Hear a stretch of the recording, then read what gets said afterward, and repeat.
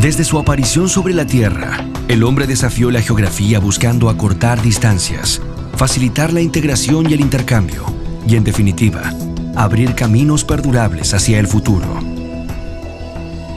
La historia de la humanidad nos enseña que el límite del hombre está en la altura de sus esperanzas. El corredor bioceánico Aconcagua una solución integradora para el comercio de América del Sur con el mundo. La importancia estratégica de la cuenca del Pacífico en la economía mundial vuelve urgente en América del Sur la necesidad de contar con una salida segura y confiable hacia ese océano. Hoy, no hay una conexión física eficiente.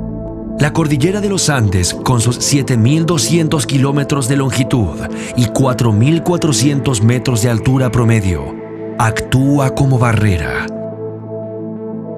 El 83% de la carga que circula entre ambas bandas del cono sur viaja por mar, utilizando rutas más largas y costosas.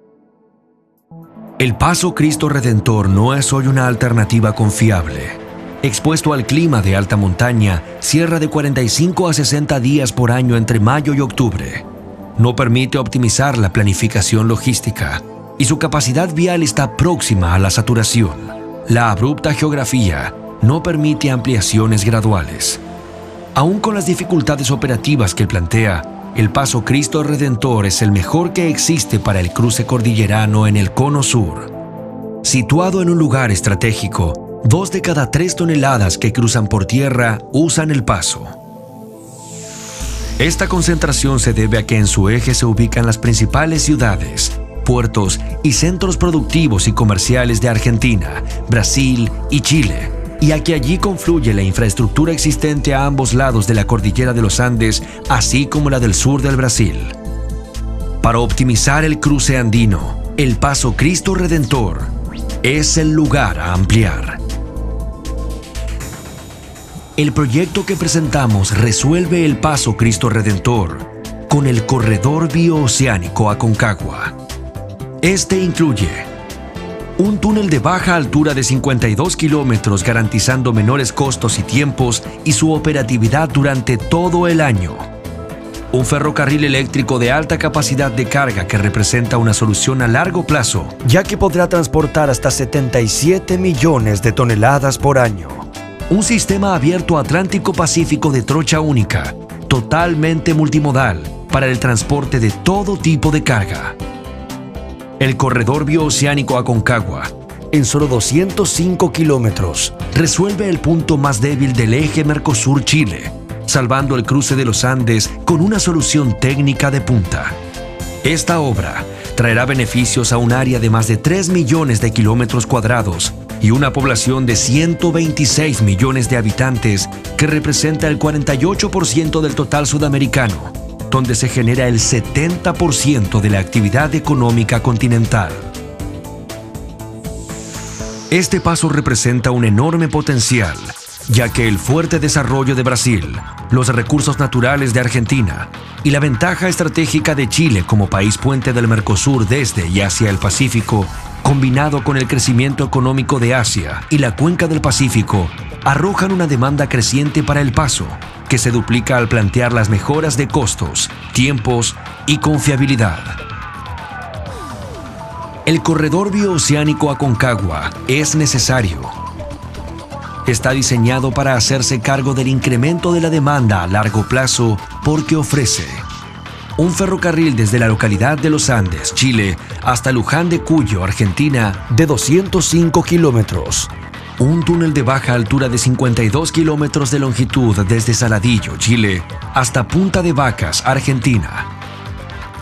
Pendientes menores al 2%, garantizando el cruce de la cordillera en menos de 4 horas, menores costos por tonelada y la unificación de aduana y trámites fronterizos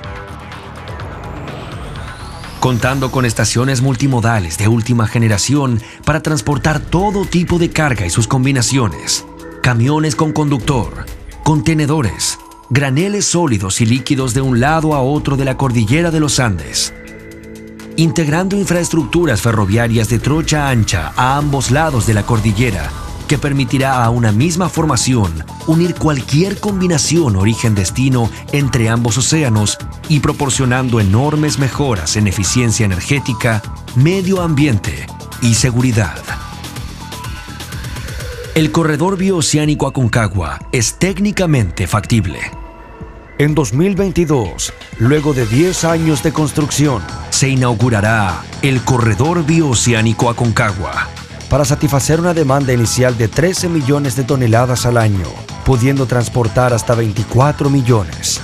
En la siguiente etapa se sumará una segunda vía en los tramos de cielo abierto, aumentando la capacidad hasta 34 millones de toneladas al año.